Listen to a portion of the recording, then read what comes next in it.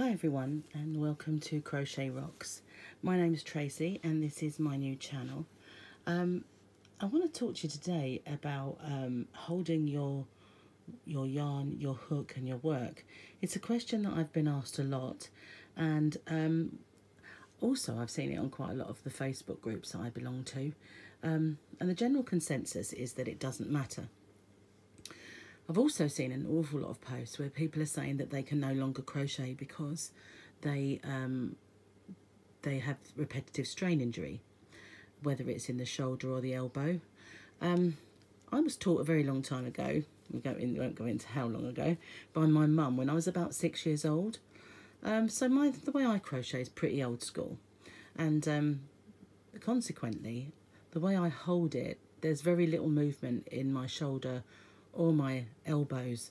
Um, I won't say that there is absolutely no movement whatsoever in your hands and wrists, but if you if I hold my my hook like a pen and this yarn around this finger and I hold the work with this hand, it enables me to give my work the absolute tension required at all times. I'm in complete control of this um, and it keeps your tension really nice.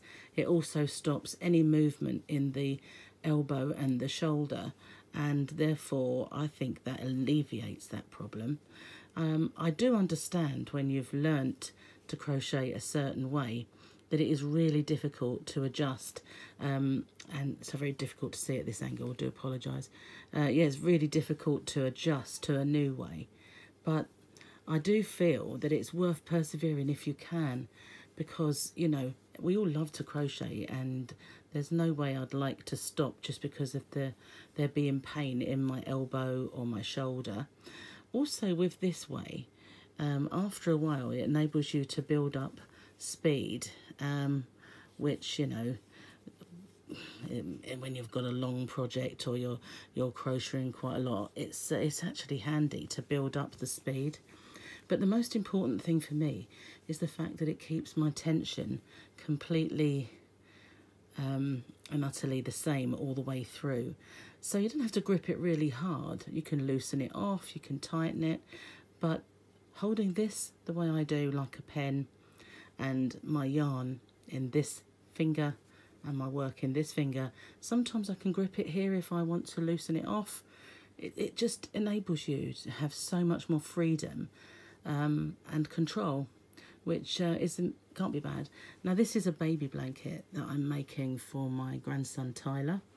Um, when he was first born, I made quite a lot, but they're looking a little tired, so I thought I'd do a few more. I'm really pleased with the way it's turning out, so I'll probably do this as a tutorial at some point. But um, for now, I just wanted to share with you my pretty old school way of holding my yarn and my work. Um, just thought it might help some of you. Well, that's all for now.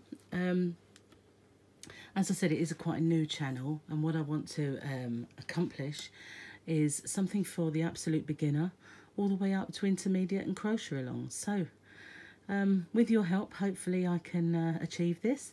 So if you could, perhaps give this video a thumbs up, subscribe, and if you click that little bell, at the ne next to the subscribe button, um, you'll get the notifications whenever there's a new video.